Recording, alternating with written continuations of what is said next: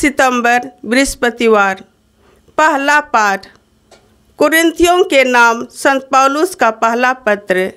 अध्याय तीन, पद संख्याएँ अठारह से तेईस तक। पाठ का मूल वाक्य है, सब कुछ आपका है, परंतु आप मसीह के और मसीह ईश्वर के हैं। कोई भी अपने को धोखा ना दें। यदि आप लोगों में से कोई अपने को संसार की दृष्टि से ज्ञानी समझता हो तो वह सचमुच ज्ञानी बनने के लिए अपने को मूर्ख बना ले, क्योंकि इस संसार का ज्ञान ईश्वर की दृष्टि में मूर्खता है। धर्म ग्रंथ में यह लिखा है, वह ज्ञानियों को उनकी चतुराई से ही फंसाता है और प्रभु जानता है कि ज्ञानियों के तर्क वितर्क निसार है। इसीलिए कोई भी मनुष्यों पर गर्व ना करे। सब कुछ आपका है, चाहे वह पौलुस, अपोलो अथवा कैफस हो, संसार हो, जीवन अथवा मरण हो, भूत अथवा भविष्य हो, यह सब आपका है। परंतु आप मसीह के और मसीह ईश्वर के हैं। यह प्रभु की वाणी है। संत लुकस के अनुसार पवित्र सुसमाचार। अध्याय पाँच, पद संज्ञा एक से ग्यारह तक। एक दिन यीशु गेनसरत की झील के पास थे। लोग ईश्वर का वचन सुनने के लिए उन पर गिरे पड़ते थे। उस समय उन्होंने झील के किनारे लगी दो नावों को देखा। मछुए उन पर से उतरकर झाल दौड़ रहे थे। यीशु ने सीमोन की नाव पर चढ़कर उसे किनारे से कुछ दूर ले चलने के लिए कहा। इसके बाद वह नाव पर बैठकर जनता को शिक्षा देने लगे। उपदेश समाप्त करने के बाद उन्होंने सीमोन से कहा, नाव को गगरे पानी में ले चलो और मछलियाँ पकड़ने के लिए अपने जाल डालो। सीमोन ने उत्तर दिया, गुरुवर रात भर मेहनत करने पर भी हम कुछ नहीं पकड़ सके। परंतु आपके कहने पर मैं जाल डालूँगा।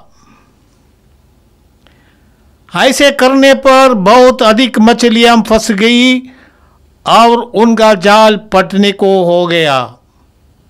उन्होंने दूसरी नाव के अपने साथियों को इशारा किया कि वह आकर हमारी मदद करो। वे आए और उन्होंने दोनों नावों को मछलियों से इतना भर लिया कि नावें डूबने को हो गई। यह देखकर सिमो ने यीशु के चरणों पर गिर कर कहा, प्रभु, मेरे पास से चले जाइए। मैं तो पापी मनुष्य हूँ। मछलियों के जाल में फंसने के कारण वह और उसके साथी विस्मित हो गए। यही दशा याकूब और जोगन की भी थी। ये जबेदी के पुत्र और सीमोन के साचेदार थे। यीशु ने सीमोन से कहा, डरो मत, अब से तुम मनुष्यों को पकड़ा करोगे। नावों को किनारे लगाकर और सब कुछ छोड़कर यीशु के पीछे हो लिए।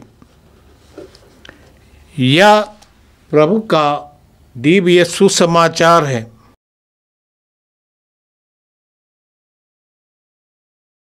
आज के प्रथम पाठ खुरिंदियों के नाम संत पाउलुस का पहला पत्र से था।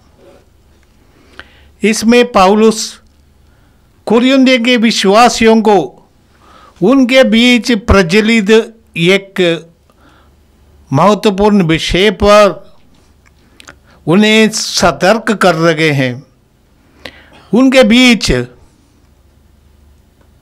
भेदभाव था। कुछ लोग अपने को पौलुस का अनुयायी, कुछ अपने को अपोलो का अनुयायी, और कोई अपने को कैपस का अनुयायी समझने लगे। इनके बारे में हम प्रेरितों का कार्यक्रम अध्याय 18 में पढ़ते हैं। 24 से 28 तक में हम पढ़ते हैं कि अक्विला और प्रशीला ने उनको सुसमाचार की पूरा सार समझाया और अपोलो ने वहाँ के विश्वासियों को विश्वास में इतना दृढ़ किया। और बहुत लोग अपोलो को अपना गुरु मानने लगा। प्रभु यीशु ने पेतरु से कहा, इस चट्टान पर मैं अपनी कलिसिया खड़ा कर दूँगा। इसलिए वहाँ के विश्वासी कुछ, कोई अपने को पेतरुस का न्याय मानने लगा, कोई अपने को पौलुस का न्याय, कोई अपने को अपोलो का न्याय करने लगे। और वहाँ पर इस तरह का भेदभाव हुआ करता था। पाउलुस अभी चिट्ठी लिखकर कहते हैं, ऐसे ऐसे सोच संसारिक होता है। संसार में हो ये स्पर्धा रहती है। और संसार में लोग अपने को किसी बड़े व्यक्ति से जोड़कर अपने महत्व बढ़ाना चाहते हैं। ये संसार की दृष्टि में कोई महाबलियों के साथ बाहुबलियों को अपना नेता समझने वाले हैं।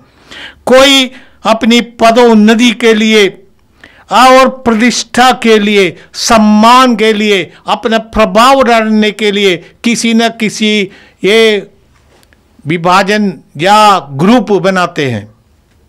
पॉलुस कहते ये सब संसार की बात है। संसार में ये सब दिख, दिखाई देते हैं परंतु आप लोग विश्वासियों के बीच ऐसा नहीं होना चाहिए। विश्वासी ईश्वर पर निर्भर रहते हैं। उनका सबसे बड़ी ताकत प्रार्थना है और पवित्र आत्मा का अभिषेक और जीवन में विनम्रता, विनय और विश्वास के लिए त्याग, बलिदान और दूसरों की सेवा। इसके द्वारा विश्वास दृढ़ रहता है, वो ईश्वर के राज्य के चिन्ह होता है। पौलुस कहते हैं विश्वासियों में कोई भेदभाव नहीं होना चाहिए।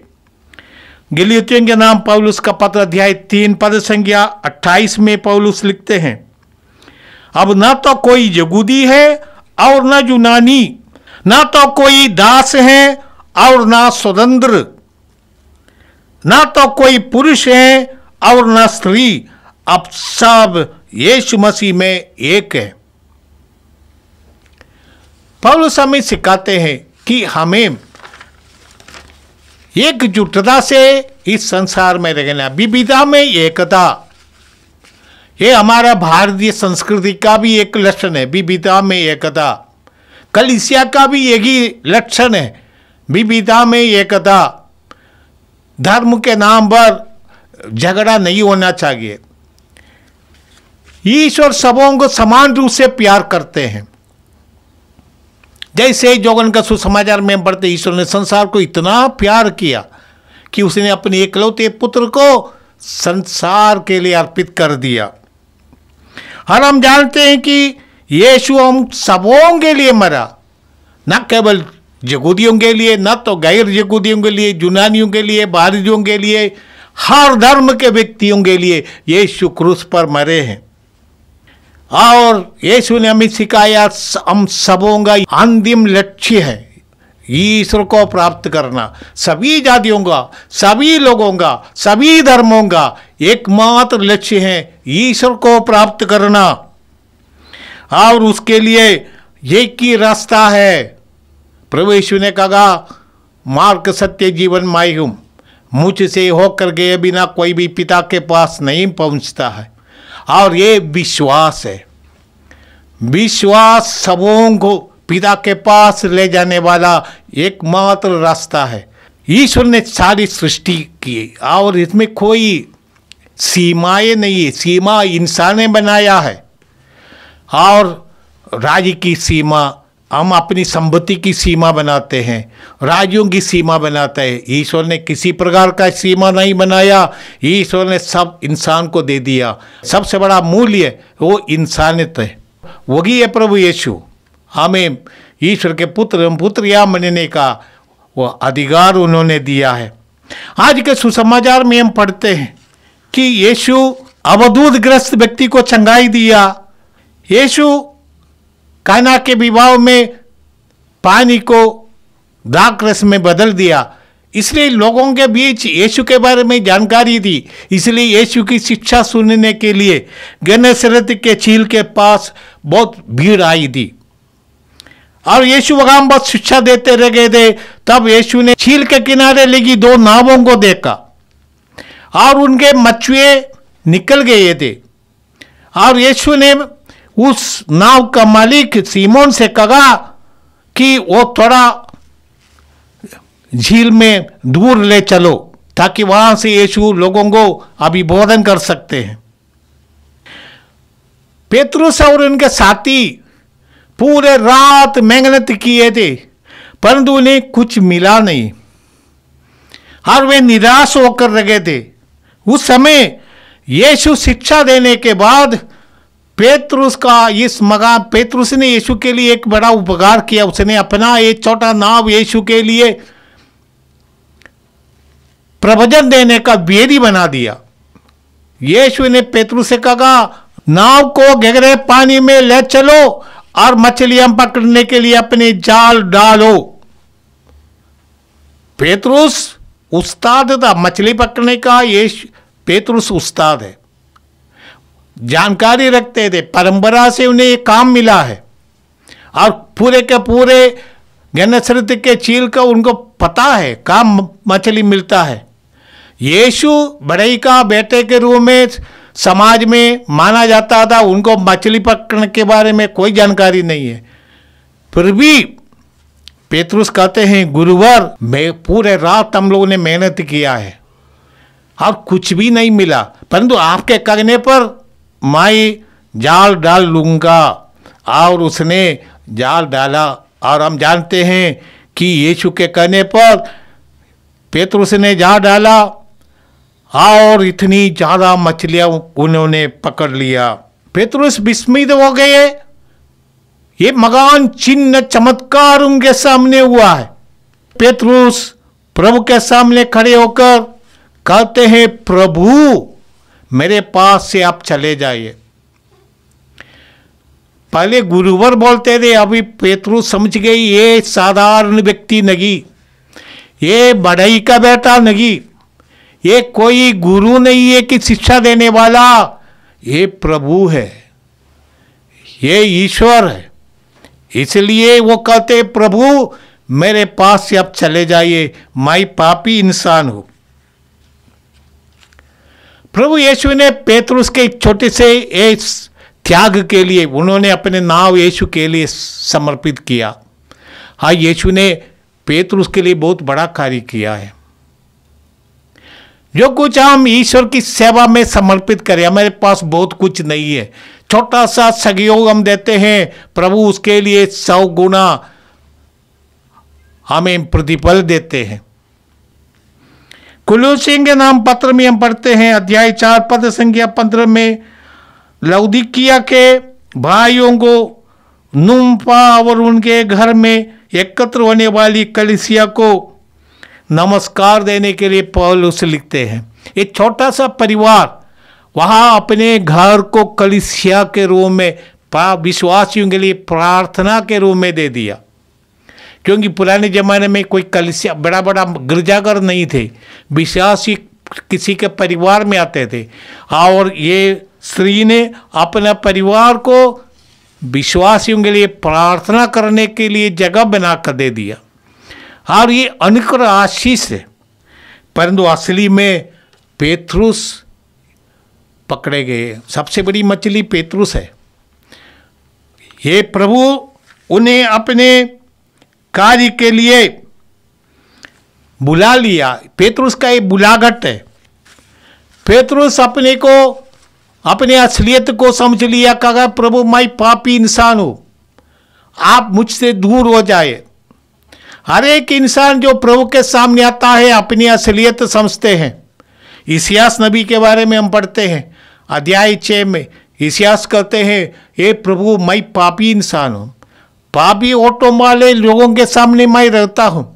कोई भी व्यक्ति ईश्वर के सामने आता है तो वो महसूस करता है, प्रभु, मैं इसके योग्य नहीं। पेतरु समझ गए कि वे महान ईश्वर के सामने हैं। प्रभु ने उनको बुलाया और कहा कि, अब इसे तुम मछली पकड़ने वाला नहीं होगा, तुम मनुष्यों को पकड़ने वाला होगा। उनको, उनका एक मिशन शुरू हो गया। पेतरुस का एक नया मिशन जो प्रभु के साथ रहने का मिशन, असली में पेतरुस ने प्रभु को पकड़ लिया है।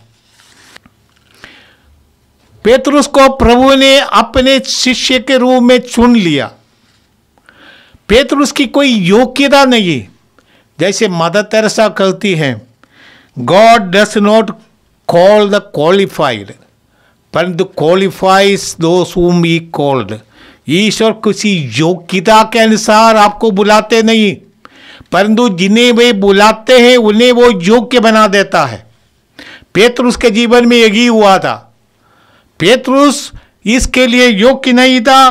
प्रभु ने उनको बुलाया और उनको अपने शिष्यों का मुख्य बना देता है।